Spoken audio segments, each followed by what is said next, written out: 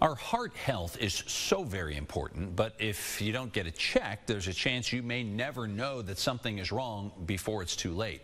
News Channel 3's Marley Pinchuk joins us with how one county is making sure the testing is available.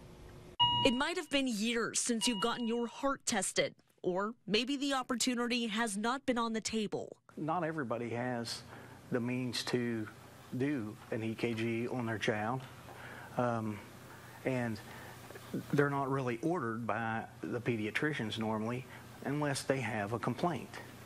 And not all children have complaints when they have underlying cardiac issues. Scott Ballard, who is the EMS director in Mason County, says the recent death of a local child led to the need for immediate action. We were paged out to respond to Point Pleasant High School for a 10 year old youth athlete that collapsed during practice. She unfortunately ended up passing away. Ballard says following this loss, Mason County EMS planning to start offering free EKG screenings for children of all ages. We're just trying to keep this from happening to another child and another family. Ballard says these EKG screenings will be offered at several locations throughout the county, such as their high schools and possibly some community centers.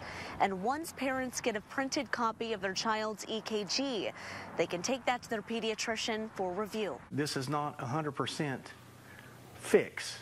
But if we can save one child and one family from going through this, then it will all be worth it.